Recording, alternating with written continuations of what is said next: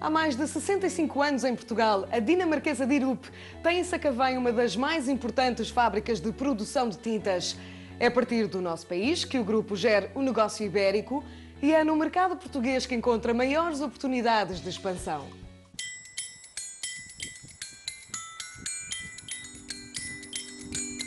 Esta foi a ponte que uniu o grupo dinamarquês de Irupa Portugal.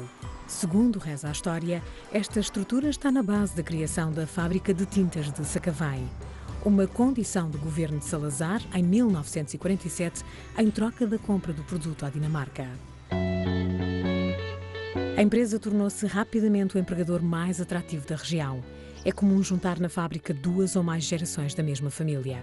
É o caso de Francisco Rodrigo, um dos mais antigos colaboradores, já na reforma. Acaba por trazer a família para trabalhar aqui. Porquê? Porque a fábrica foi sempre uma fábrica muito boa, dava uma certa segurança aos trabalhadores e tinha uma boas regalias, um bom almoço, os ordenados eram um dos melhores ordenados que em Portugal, portanto há uma segurança muito grande. A família Melro é um testemunho da ligação sólida entre funcionários e empresa, um capital humano que foi fundamental para o turnaround que a Dirup Portugal teve de fazer em 2005. Eduardo C. Vasco dirigia com sucesso a operação em Espanha e foi indicado para resolver os problemas na unidade nacional. Voy a cumprimentar, si me disculpa. ¿no? Boa tarde. ¿Cómo está? ¿Todo bien? Nosotros hicimos algunas mudanzas en la dirección, pero sobre todo yo descubrí aquí que había mucha gente que se sentía dirup, que se sentía dirupiana. Vamos a aprovechar eso, que es un sentimiento, en ayudar todos a, digamos, a que esta empresa salga adelante. Uma receita para resultados positivos, cuja composição integrou ideias de todos os departamentos, da mesma forma que cada tinta e cor necessitam dos mais diversos ingredientes na sua formulação.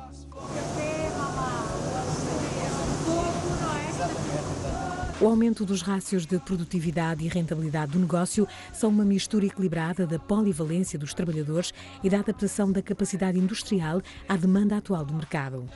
Não há equipamentos disponíveis, são, são equipamentos projetados e fabricados por nós, em que nos permite, por exemplo, minimizar a quantidade a fabricar, enquanto eh, no passado era normal fabricar-se bates, por exemplo, 4 toneladas de tinta, sendo só uma tonelada para vender de imediato, nós neste momento conseguimos reduzir a dimensão desses bates.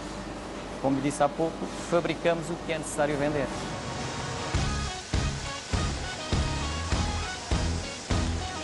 Nestas panelas gigantes, puxadas por rodas, cozinham-se também fórmulas inovadoras.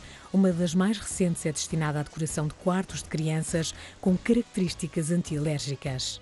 Portugal tem conseguido destacar-se na área de investigação e desenvolvimento de produtos pelos avanços na criação de tintas ecológicas.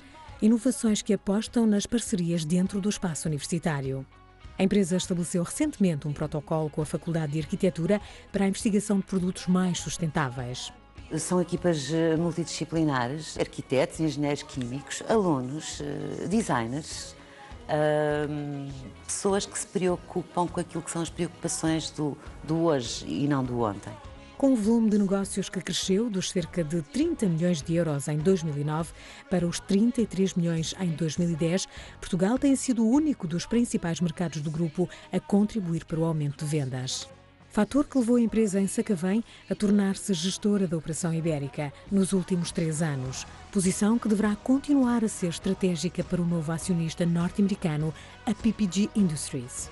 Ellos han comprado Dirup por tres razones. Una, porque no tenían presencia en lo que es pintura para decoración en Dinamarca. Otra, porque no tenían presencia en Iberia. Y la tercera, por nuestra gama Bondex de productos para madera. O presidente executivo da Dirup Ibéria está confiante nas oportunidades que se abrem para a empresa com esta integração.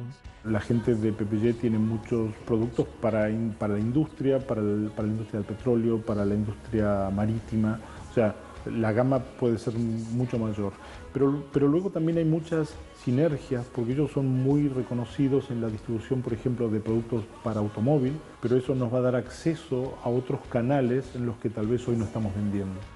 Eduardo C. Vasco acredita que a crise na Europa e no setor da construção civil será compensada pelo aumento das exportações, sobretudo dirigidas ao mercado dos PALOP, que deve crescer dos 10% para os 20% em 2012. Angola, pelo seu elevado potencial, é gerida como uma operação à parte dos PALOP.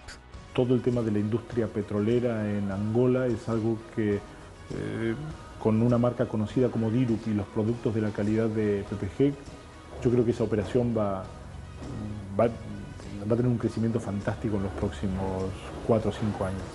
Uma expectativa positiva para o futuro que ajuda a acentuar a tonalidade de felicidade dos colaboradores da empresa e que poderá trazer mais cores à expansão da Dirupa em Portugal.